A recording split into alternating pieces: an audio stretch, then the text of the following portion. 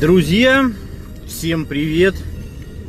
Стандартное начало моих подкастов за рулем. Я даже не знаю, э, надо посмотреть, когда я начал вообще тему подкастов за рулем. Это произошло довольно много лет назад. Можно даже уже этой теме отметить юбилей. Ха-ха, наверное, будет. Надо посмотреть. Я думаю, что 5 лет-то точно есть. Может, уже больше. Я думаю, что больше. Наверное, скоро 10 будет. Вот. Значит, какая сегодня тема? Тема не совсем по боевым искусствам, хотя она касается их э, тоже. В каком ключе? Друзья, я очень люблю общаться с вами э, в интернете, иначе бы я бы на самом деле бы не вел бы вот эти вот все свои значит, эфиры прямые э, и все такое, если бы мне это не было интересно, если бы мне не было интересно ваше мнение, э, ваши э, какие-то выкладки по темам, которые я затрагиваю, мне безусловно это важно, реально. Но вот э, часто бывает так, что я пишу некоторым людям, э, оставьте э, ваше мнение настолько ценно, что оставьте его при себе и никому не показывайте. И мне там что-то пишут. А вот странно, сами хотели услышать мнение, а потом пишите вот такую штуку. Я типа там обиделся, я от вас отписываюсь. Ребят, понимаете? Я сейчас объясню, в чем дело. Мне интересует ваше мнение не в отношении меня, а в отношении тему, которую я затрагиваю. То есть, вот, например, мы там обсуждаем тему э, там, укрепления э, ударных поверхностей. И вот эта тема меня, безусловно, заботит, интересует, поскольку я ей занимаюсь много лет. И, безусловно, у вас на эту тему может быть мнение собственное и отличное а, от моего. У вас может быть какой-то свой собственный опыт, э, опыт, э, который получен э, вашими учителями, э, то, что вы где-то наковыряли не знаю, там в интернете или с помощью каких-нибудь других изысканий. Все это может быть. И вот обмен этими мнениями может быть очень интересен, даже если они абсолютно противоречивы, потому что именно многогранность э, в точках зрения, она приводит к тому, что мы можем уйти э, друг от друга, как говорится, после наших э, дискуссий или дебатов, э, получив дополнительные знания, как а, я уж, я уж не помню, кто это сказал, но кто-то из великих, да, что если у вас, э, а, если у вас одно яблоко и там у меня яблоко, то если мы с вами поменяемся яблоками, то у нас останется по одному яблоку. Но если у вас идея и у, у меня есть идея, и мы, значит, обменяемся с вами над идеями, то у нас будет по две, скажем, идеи. Вот это вот реально работает. Конечно, я уже много раз записывал такие подкасты о том, что я формирую свою точку зрения, всегда основываясь на самых разных и противоречивых фактах, которые я собираю, потом я их проверяю, э, пропускаю через сито своих э, каких-то э, ну, через какие-то фильтры э, своего мышления, опыта, знаний, проверяю на практике и формирую мнение собственное который я и, и выдаю. Часто я очень пишу имхо, то есть э, это то есть мое личное мнение, которое я не претендую на то, что оно абсолютно точное. В других случаях я пишу, что это вот мой личный опыт, который я проверил на практике. В третьем случае я пишу, что это э, основано на изысканиях каких-то нобелевских лауреатов, каких-то светил, там, пятый-десятый, все, все понятно.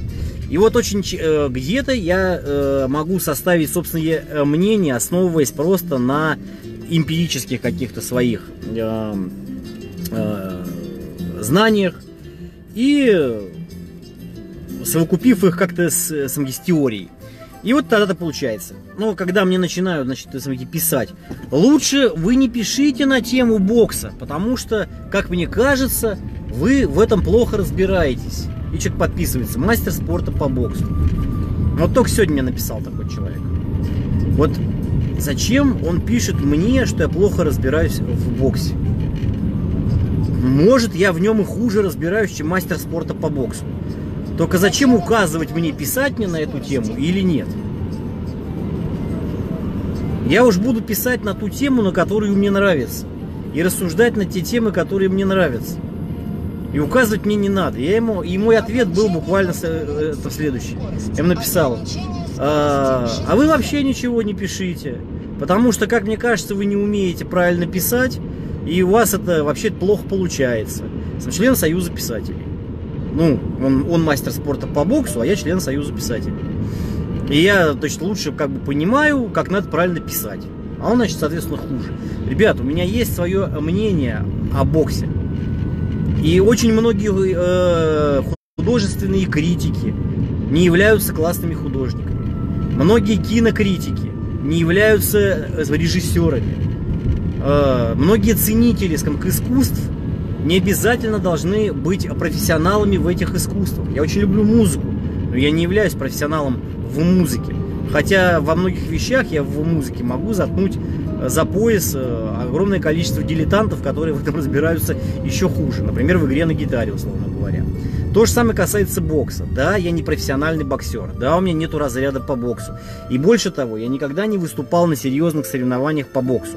Хотя с боксерами спарринговал, боксом занимался и занимаюсь, имею какой-то в этом опыт, исследую методики подготовки боксеров для того, чтобы перенести их на практику в ММА, и поэтому о боксе могу иметь какое-то представление. А уж тем более судить о том, а, а, нравится ли мне какой-то боксер или не нравится, нравится ли мне манера а, боя там каких-то боксеров тяжеловесов или легковесов и так далее.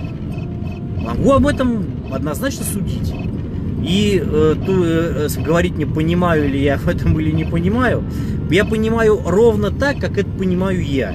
И если человек это понимает как-то по-другому, и он ждет каких-то, предположим, э, дебатов или хочет высказать какое-то мнение, то никогда, э, то не надо э, в этом плане переходить на личность Э, и затыкать, пытаться мнение другого человека.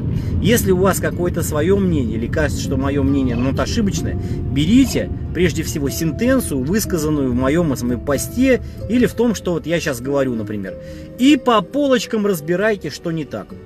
Если вам не нравится сам статья по биомеханике, и вы считаете, что вы в этом разбираетесь лучше, вы берете цитаты из какой-то литературы, которые нотапелируете, приводите статью из собственной монографии, если э, вы считаете, что действительно в этом плане являетесь экспертом, значит, наверняка у вас есть какие-то публикации где-то, в каких-то журналах и так далее. Можете привести цитаты. Если не являетесь, нет, если считаете, что являетесь экспертом и имеете мнение по этому поводу, но э, но не профессионал, да, то есть у вас нет э, ну, экспертных каких-то статей, монографий и так далее, то просто высказываете абстрактно, э, высказываетесь абстрактно по этой теме. То есть разбирайте не то, как я в этом разбираюсь, а высказывайте то, как вы понимаете данную тему. То есть не понравилось вам какое-то положение, вы, значит, э, берете его, описываете, что вам в нем не понравилось, и, соответственно, высказываете свою точку зрения, какую вы имеете на это. Не на меня, разбираюсь ли я в этом или нет, а на, а на саму суть изложенную. И вот тогда мы с вами будем разговаривать. Понимаете? И тогда ваше мнение будет, во-первых, и ценным, это раз, и интересным, это два. А когда вы мне пишете, что я не разбираюсь, то у меня возникает просто э, легкое желание послать вас нахуй и все. И на этом все, я прошу прощения за французский за мой. И на этом э, сам закончить, собственно говоря, сам диалог. Вот. Потому что откуда мне знать, что вы разбираетесь в этом лучше? Понимаете? Я-то себя знаю. Я знаю, чем я занимаюсь долгие годы. А вас я не знаю. Почему я должен ваше мнение о том, что мне лучше не рассуждать на какую-то тему, вообще к сведению принимать? Понимаете? Вот э, Ваше э, мнение в отношении темы я могу к сведению принять, потому что мое, моя точка зрения может измениться. Э, если я посчитаю, что то, что вы написали, э, действительно несет какой-то смысл, там, ну, не то что смысл, а даже если это противоречит, то могу найти там здравое звено. Мое мнение, оно так и формировалось. Потому что когда-то мне казалось важным одно, потому что у меня набор знаний был один. Потом он у меня расширился, мне стало важно другое. Э, я сформировал э, другую концепцию, предположим, на традиционные боевые искусства, коими был фанат, ну, лет, наверное, до 30 я просто там, э, там кипятком ссал от традиционных боевых искусств. То есть считал, что вот э, это вот, вот единственное то, а то есть у меня опыт к этому времени уже был, ну сколько, я в 14 лет начал заниматься карате, то есть к 30 годам, соответственно, я прозанимался 16 лет уже. Мне казалось, что вот все это карате традиционное, это вот, вот все, это что только может быть. И, соответственно, сейчас, когда я, вижу, я знаю, о чем говорят люди, которые, прозанимавшись там 10 или сколько-то лет, начинают оппонировать мне и пишут, там, автор типа не понимает традиционного карате, прозанимавшись столько лет, его не научили ставить блоки там, условно говоря.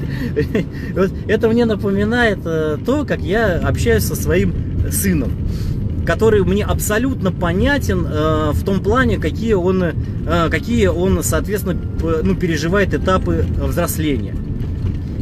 Когда у него есть один интерес, когда ему хочется противопоставить себя системе, когда он наоборот, там, э, у него есть какие-то там авторитеты и пятый, десятый. И вот здесь то же самое. Я просто себя вижу в таких людях, только когда мне было, предположим, ну, я прозанимался лет там 10 карате. Вот это вот все то же самое, абсолютно.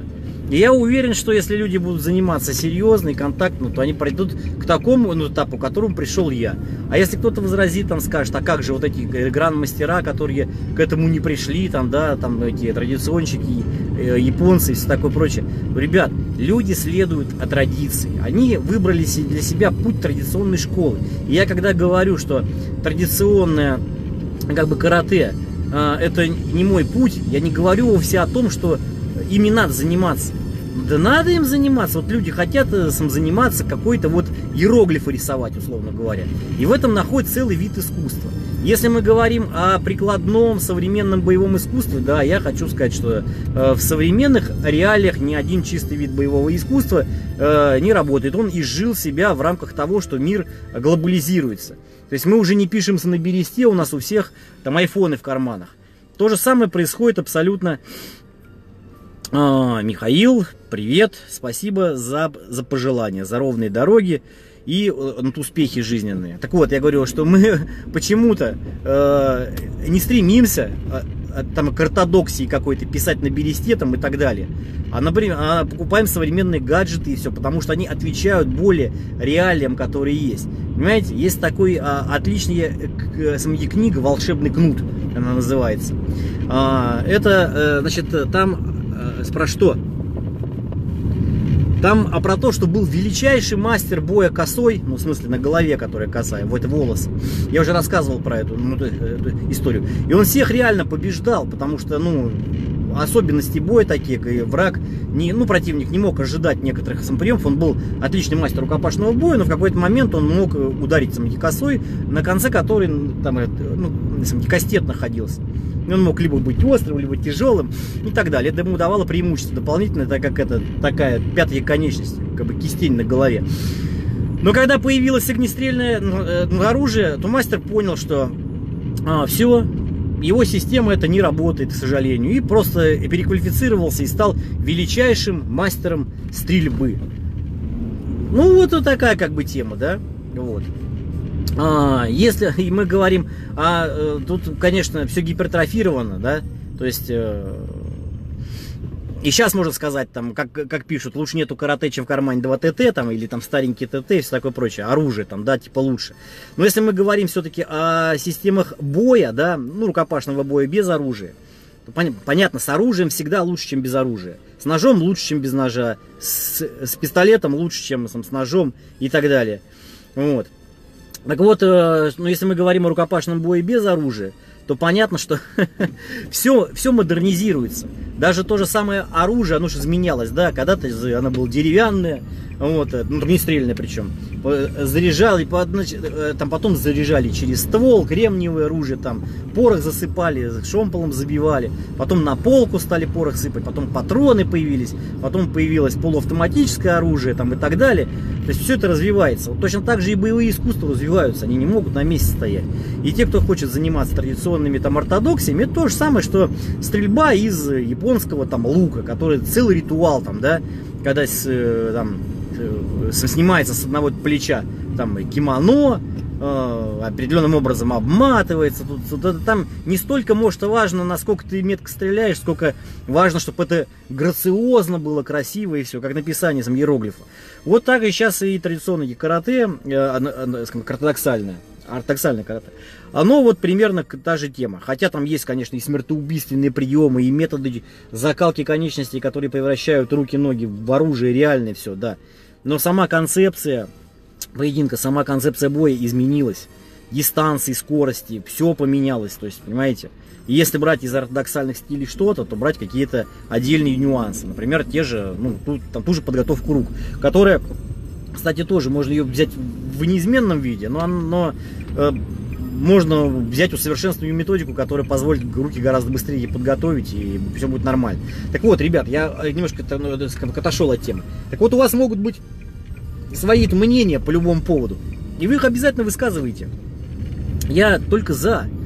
А, когда вы высказываете мнение на предмет, на сам, а не на меня. Имею ли я право об этом рассуждать или нет.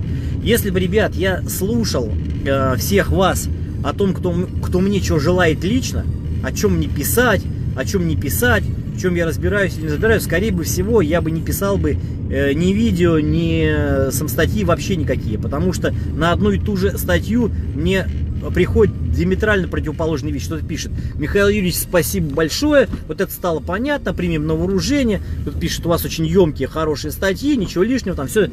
А кто-то пишет, ой, одна вода сплошная, там ерунда. А третий пишет, вы вообще не разбираетесь и не беритесь, лучше не смешите людей. Понимаете, Кого мне слушать-то, ребят?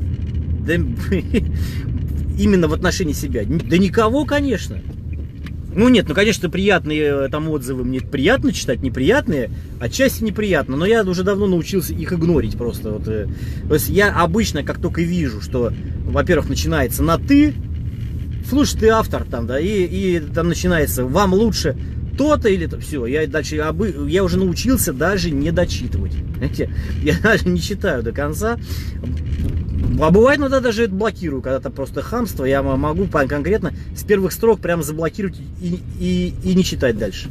Вот. Но чаще всего не блокирую, потому что люди со временем могут менять свою точку зрения. Предположим, человек меня не знал, мало чего прочитал, в, в статье не разобрался, потом прочитал другую, третью и точку зрения поменял.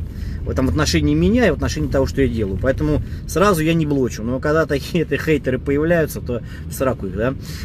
Вот. Э, так что вот, друзья, очень люблю, еще раз говорю, с вами контактировать. Вы обязательно пишите, оставляйте свои какие-то комментарии. Я обязательно их буду читать, и мы с вами будем их обсуждать.